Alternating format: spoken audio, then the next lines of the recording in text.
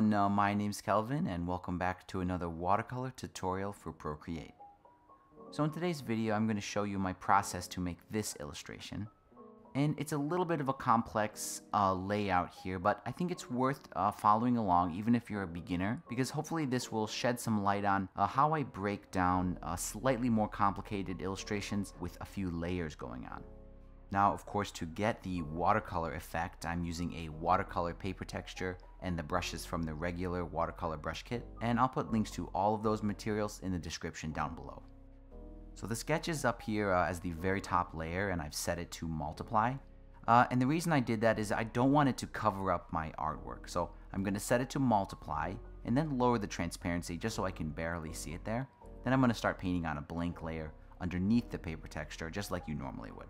And I'm going to start with a brush from the regular watercolor brush kit uh, that I haven't used before in any of my tutorials, but it's a really handy brush. And it's called the Hard Edge Round, uh, and it's very much like the Abstract Round, except it's a little easier to control and it has a slightly hard watercolor edge, and it's going to be perfect for the bike frame. And for the color, you could choose any color you want, of course, but I'm going to start with a kind of desaturated blue color, and I'm going to quickly fill out the bike frame and I'm to use one trick that you're probably already aware of, but I'll just demonstrate it here. So I'm to set the brush size about as wide as I want the frame to be. And then I'll do one frame bar like that. And I'm holding the position at the end, and it just sort of snaps it into a line. And this is to help me make the frame a little bit easier. So I'm just to start by doing this one here like that. Then hold it at the end until it snaps into a line. And I'm just to continue on and do all the uh, different portions of the bike frame that way.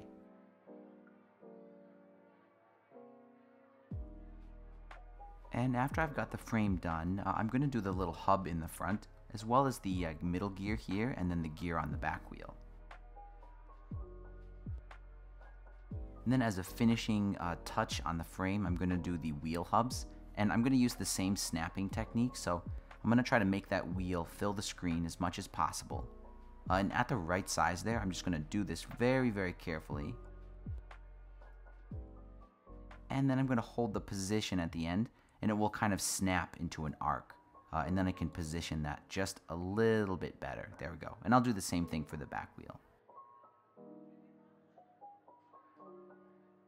And now that the main portions of the frame are finished, I'm just going to go in there with the eraser and fix any of these kind of mistakes that I made uh, where the lines kind of went too far.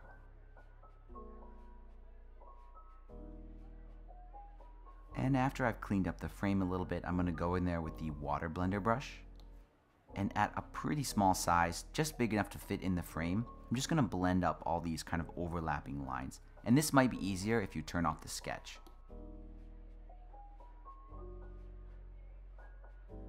And now the frame is basically done, so I'm going to turn the sketch back on, and I'm going to do the wheels now and some of the other details. So I'll make a new layer above the frame, and this time I'm going to use a darker color, almost black I guess, and I'm going to go back and grab that uh, hard edge round brush for this one. Now for the wheel, uh, I'm also going to use the snapping trick to help me make this kind of round. So I'm first going to go over it just as best as I can, but it won't be perfect. And then once I get around to the beginning, I can just hold that position uh, and then you can see it's snapping it into a circle. And I'll just try my best to position that. It's not a perfect circle, but uh, it's probably better than what I could freehand. There we go. And it's a, a little bit in the wrong position, so I'm going to grab the selection tool, set it to freehand, circle the wheel like that.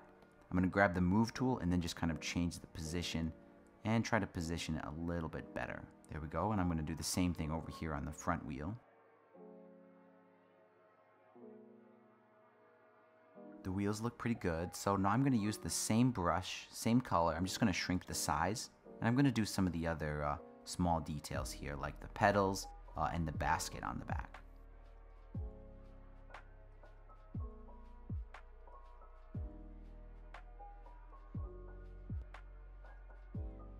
And where the uh, watercolor kind of overlapped on the wheels, I will uh, smooth that out with the water blender real quick. Now in a few areas the wheel is overlapping the frame where it should be the other way around so I'm just going to make sure I've got the layer with the wheels selected and then I'm going to fix that with the eraser brush. So just in areas like this I'll just kind of erase the wheel just so it has a space for the frame and I'll do the same thing on the front wheel. And that's looking pretty good. So I'm going to merge the wheel and the frame together onto one layer just like that. And I think I want to change the color of the frame. Uh, I want it to be a little bit more blue. So while that layer is selected, I'm going to go to the adjustments, hue, saturation, and brightness for the layer. Then I'm going to shift the hue and try to find a slightly uh, better color, or at least a color that I like a little bit more. And now I think I want to add the chain real quick. So I'm going to do that on another layer. And using a pretty dark color, I guess it doesn't really matter. I'm going to grab the fine liner pen brush. And at a pretty small size, I'll just rough that out, but I'm going to use the same snapping trick. And I think that turned out pretty good, so I'll go ahead and merge that with the frame and the wheels uh, as well. And now I can move on and paint her real quick. So I'm going to make a new layer above everything, and I'm going to choose a, a good skin tone color. And it's okay if it's a little bit wrong because we can shift the hue later on. And for the brush, I'm going to grab the abstract round and very, very roughly, I'm just going to fill out her kind of silhouette. And after that, I need to kind of clean up the edge. So I'm going to turn off the frame uh, and then just use the eraser brush and just sort of clean it up all the way to the very edge of the sketch there.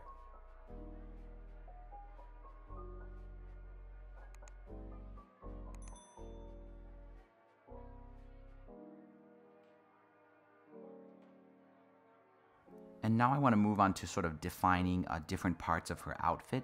Uh, right now it's all one color, but I'm going to use the selection tool to isolate each part and then change the color. So I'm going to grab the selection tool, set it to freehand, and I'm first just going to quickly uh, kind of outline the silhouette of her dress.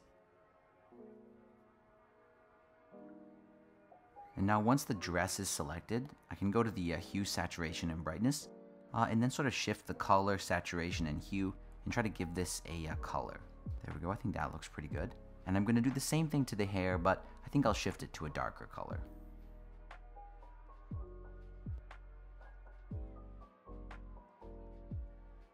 So this is starting to come together. So I think at this point, um, I'm going to lighten the sketch a lot more just so I can barely, barely, barely see it there. Uh, and I'm going to add some shadows to kind of differentiate this a little bit better. So I'm going to do that with the selection tool.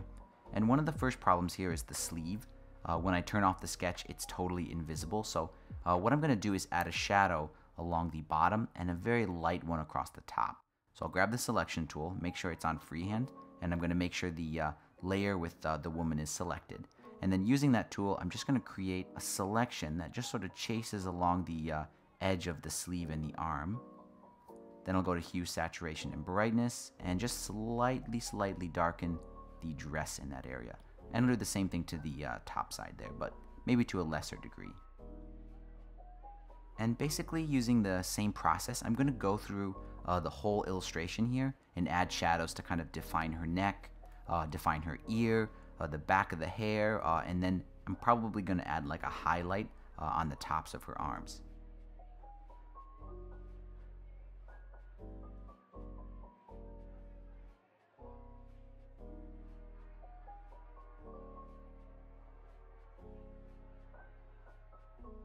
And there we go, that looks pretty good. And I think at this point I can move on and do the shoes real quick. And that's really easy, basically the same process I've been doing. I'm just gonna grab the selection tool and just select the shoe. Just like that, and I'll add a selection and do the other one too.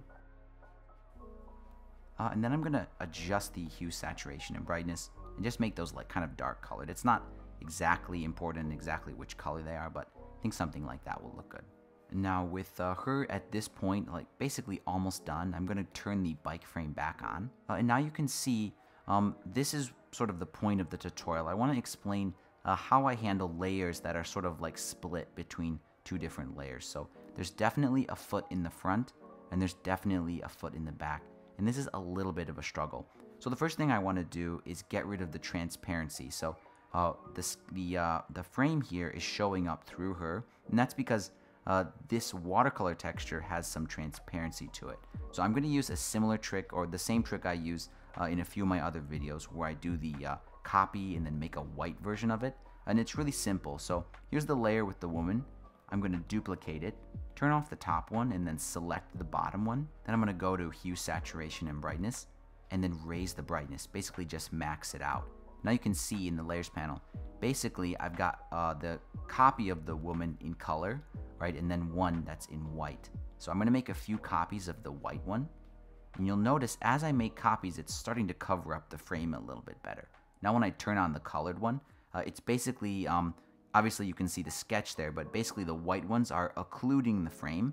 Um, and this is going to get rid of the transparency while keeping the watercolor texture. So now I've got all these layers, basically all these white versions uh, and then the colored version. I'll just merge those together by pinching them. And now what I need to do is separate basically this leg. I need to separate it onto a different layer, uh, a layer behind the bike frame. So what I'm gonna do is grab the selection tool and I'm gonna select that leg just like that. And I'm gonna do copy and paste. Now in the layers panel, it's made a copy of that leg, but my selection is still active and it's important. You need to leave that selection active, go back to the original one, right, and then clear it. Now what we've done is basically we've cut out that leg from the original one and then pasted it on a different layer. So I know that's a little bit confusing, but it might be worth watching that again um, because this is a really handy trick. Now with that leg sort of separated onto another layer, um, I can actually move it and put it behind the bike frame. And now we have a similar problem where now in this case, it's the bike frame that's showing the leg through it. So we need to do the same trick we did uh, with the actual body of the woman here uh, and give it a white background. So I'm gonna do the same trick again.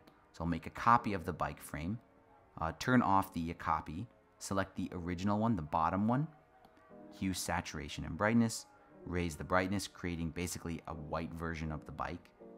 Make maybe two copies of it, uh, turn on the colored one. Now you can see the transparency is gone because these two white copies of the bike are just blocking it. And then I'll merge all three together. So this is the only tricky part in the video, I guess, and it's uh, just separating the woman uh, into two different layers so the bite can be kind of like in between. And it might be worth, you know, like I said, watching this part again. Uh, if you want to avoid all this complicated layer uh, kind of madness that I've got going on here, you can always just do it all on one layer uh, and just paint it very carefully. But by cutting the layers, giving them that white background, we're just trying to save time to paint this illustration. So this is looking really good and it's almost done. Now I'm gonna do the plant real quick and I won't follow the sketch. Uh, and I'm just gonna kind of fast forward through this because it's a little bit self-explanatory, but I'm gonna do it all with the fine liner pen and the abstract round brush.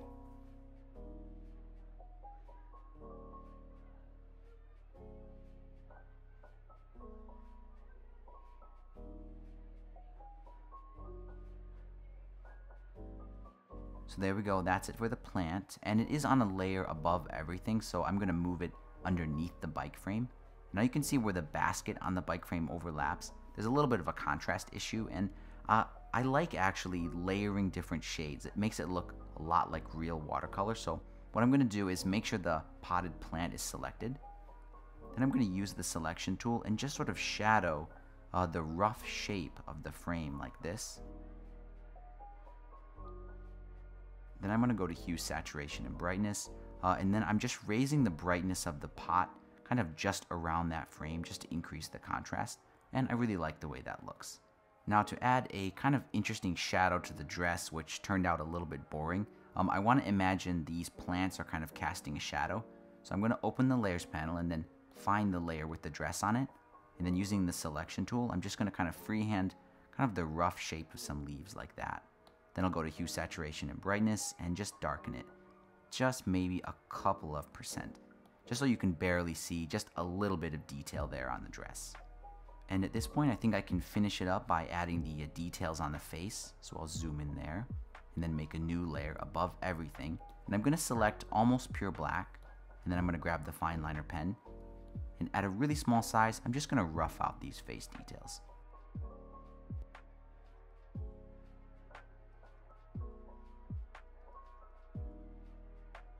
And after the black line details are done, I'm going to switch over to white uh, and then finish up the eye.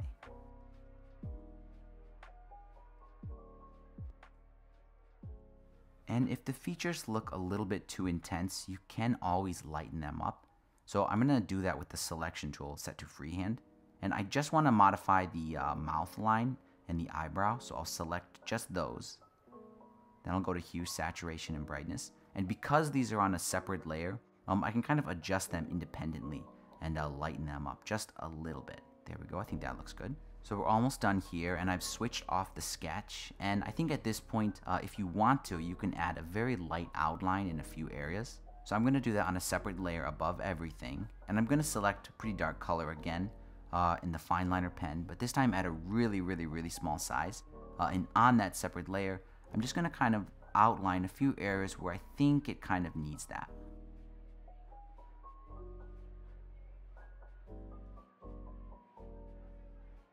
And after that, you can just set that layer to multiply and then lower the opacity basically to zero and then just raise it up uh, a little bit at a time until you can just barely, barely see it. We're just trying to kind of enhance a few of the edges. There we go, and this one is all done. And uh, as you can see, it prints out really nicely, and um, I really love this style of artwork. I was kind of looking on Pinterest and uh, seeing a lot of similar stuff, and if you're looking for new ideas, I highly recommend uh, just looking up simple or cute illustrations on Pinterest and you'll find all kinds of ideas to paint. And that pretty much wraps it up. But as always, thank you so much for your support. Thanks for watching and I'll see you in the next video.